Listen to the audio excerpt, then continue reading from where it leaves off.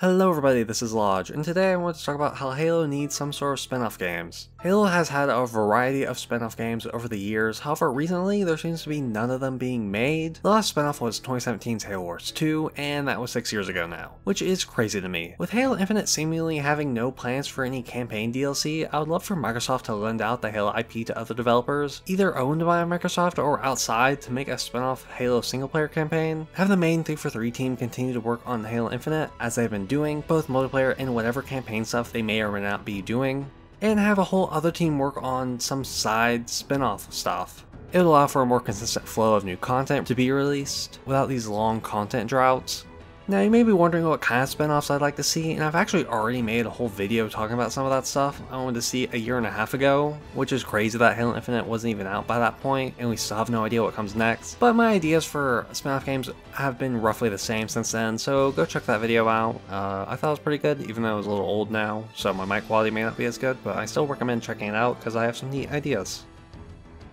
To drive my point home about how weird it is that we don't have Microsoft contracting companies to make these spin-offs, even Nintendo's been able to give out their Mario IP, in the time between Halo Wars 2 releasing and now, we've had two spin-off games that are much better than they have any right to be.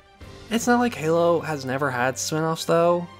A few years ago they were abundant, we had Halo Wars, phone games, okay, maybe that's it, but I'm just so surprised that we have so many books and even a TV show now but we are limited to just one game being made currently. I've been playing Halo 2 on the Steam Deck, and I just want something new to play that has a similar feel to that, and I feel like a spin-off is the only way we're going to get that anytime soon.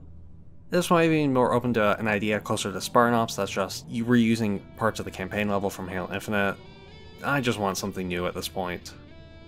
So if you agree that we should get more Halo games, let me know in the comments, maybe even subscribe to see more videos of mine, like my Spartan Ops review, hopefully, in the near future. And I hope you have a good day, and goodbye!